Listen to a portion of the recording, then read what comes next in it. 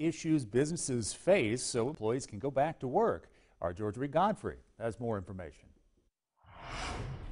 From implementing proper protocol if an employee tests positive for COVID 19 to finding pots of money to help small businesses recover financially. The House Employment, Workforce, and Business Recovery Committee is working to address issues that are in the way of revitalizing the state's economy.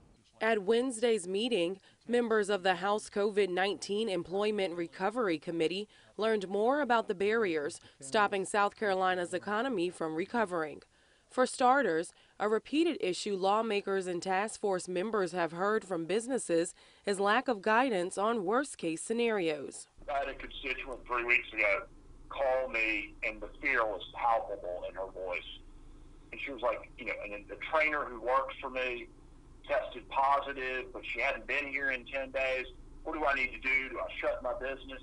DHEC presented a plan that outlines what an employer should do if an employee tests positive or is in contact with someone who is. Child care is another obstacle.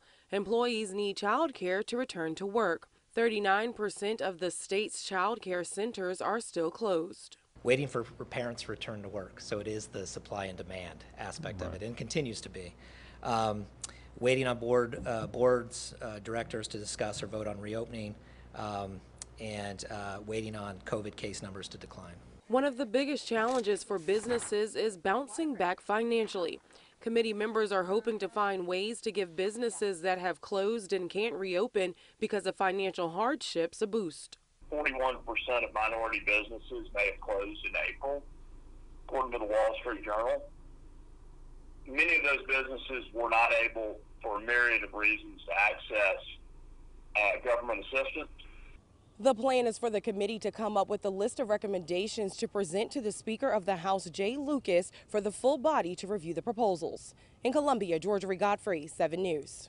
The Department of Social Services has been working to provide funding to child care centers to have a thorough cleaning to help with reopening and providing child care vouchers to essential workers.